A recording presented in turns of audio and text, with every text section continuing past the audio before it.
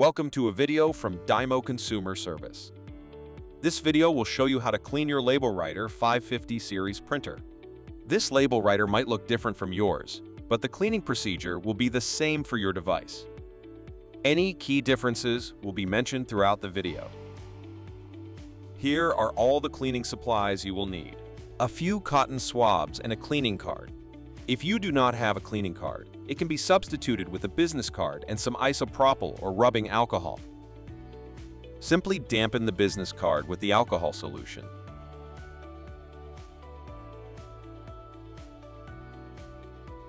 Ensure it is not dripping, as excessive alcohol could damage the printer.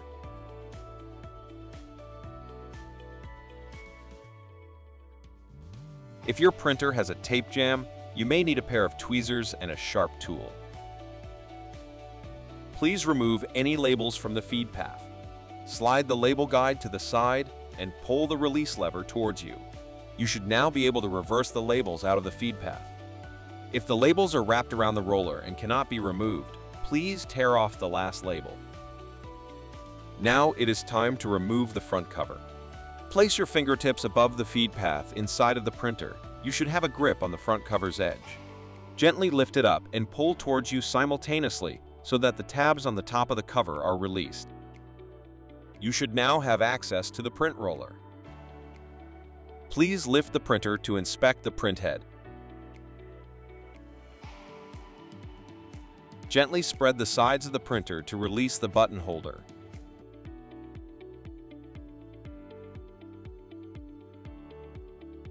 Exercise caution to avoid damaging the connections, and keep in mind that this step may not be essential.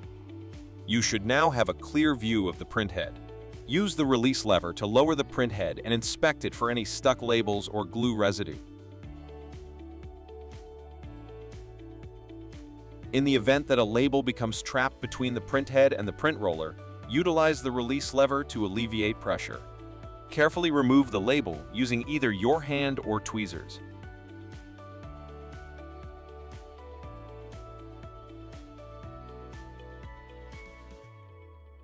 If you have a label wrapped around the roller, you may need to cut it into smaller pieces or split it along the top. You should be able to access the roller from the top in order to cut the label. If you need more space, you can lift the label guide and even remove it completely by squeezing it from both sides. Though this should not be necessary in most cases,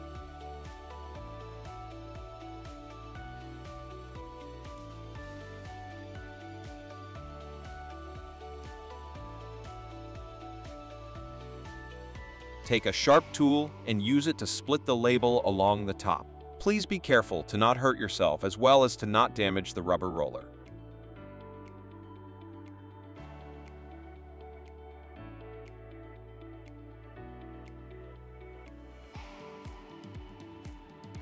You can divide the label into smaller sections or remove portions of it to reduce the amount of layers.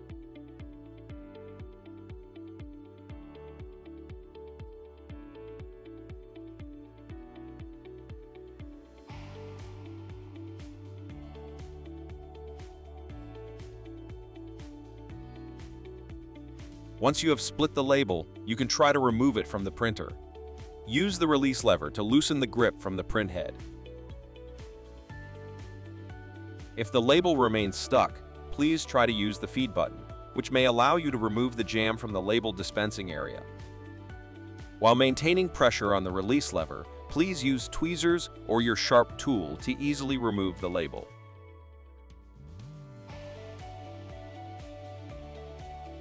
Inspect the printer for any label remains.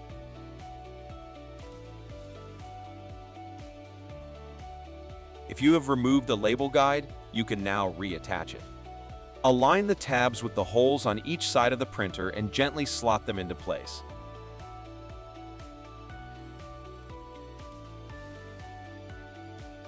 Please make sure that you do not apply too much pressure, as well as that the guide is facing into the printer.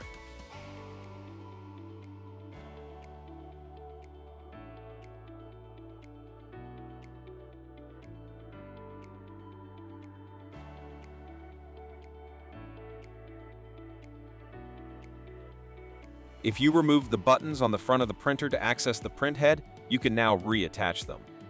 Slot the left side into position, then gently pull the right side of the printer outwards to slot in the other side.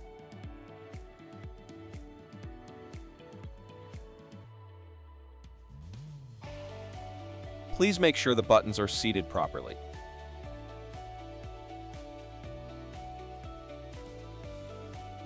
Make sure your printer is turned on. Feed the cleaning card through the printer using the feed button. Repeat this process two to three times.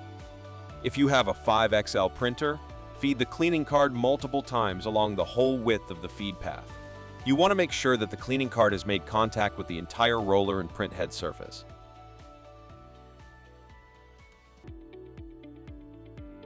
Your label writer is equipped with sensors, which are responsible for the label feed.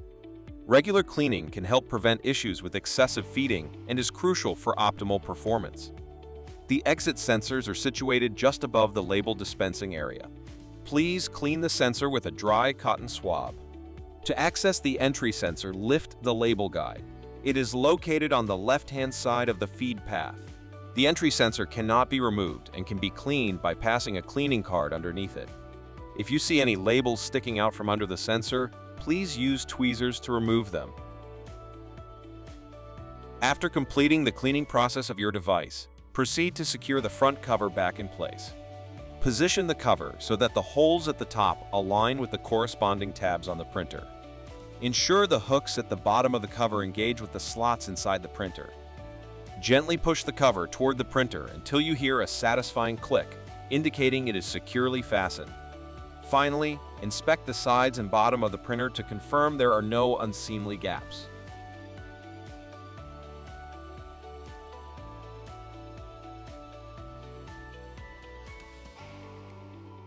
Place the spool back into the printer and insert your labels into the feed path. Please make sure that your labels are facing down and are aligned all the way to the left-hand side of the printer with the help of the label guide to keep them in place.